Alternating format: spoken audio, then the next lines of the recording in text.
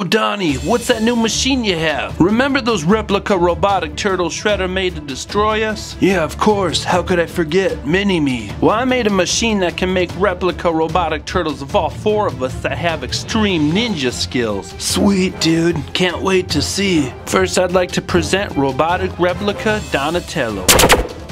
And next, robotic replica Leonardo.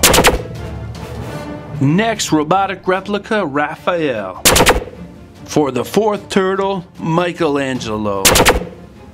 This is so cool. Replicas of all of us. We have no time to chat. We must save Splinter. Why would you go save Splinter? He said he'd be back any minute. Yeah, that was like four hours ago. He's right. Splinter should have been back a long time ago. Let's go save him now. There is no need for all of us to go. Allow the robotic replica turtles to bring Splinter back safely. We're off to save Splinter.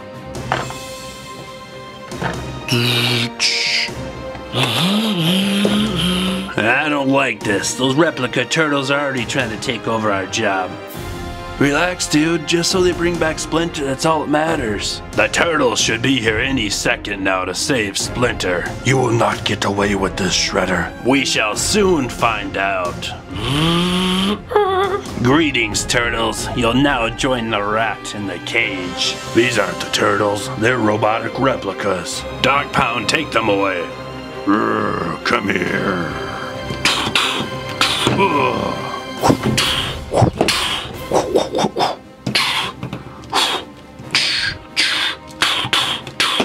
These robotic replicas have extreme ninja skills.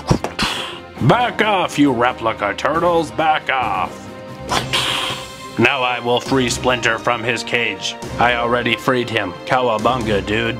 Now let's hope those replica turtles come back with Splinter. Good evening, turtles. Your replicas showed excellent ninja skills. See what I mean? These guys are the real deal. Thanks for watching, everyone. Please remember to like,